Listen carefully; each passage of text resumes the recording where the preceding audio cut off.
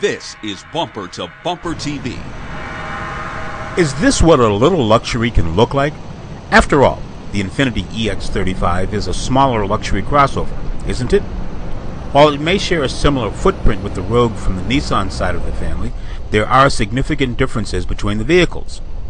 In keeping with Infiniti's push to build its own separate cars, the EX is actually an inch shorter and nearly 4 inches wider than the Rogue.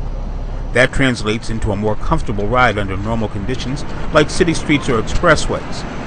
It also delivers a solid feel when pushed in the curves. Mechanically, the Journey differs from others in the segment with its drivetrain. The base model is a rear-wheel drive unit that can actually lay down some rubber if pushed. For those who really want to dig on the road, there's an all-wheel drive platform available.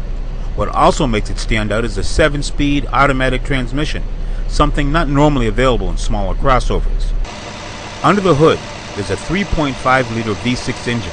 It's rated at 297 horsepower and 253 foot-pounds of torque.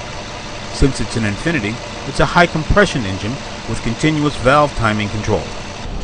18-inch standard wheels give it a taller exterior look, but not so much that it's a problem for the average person to get in or out. Like many luxury and non-luxury vehicles, it comes with a navigation package and a backup camera.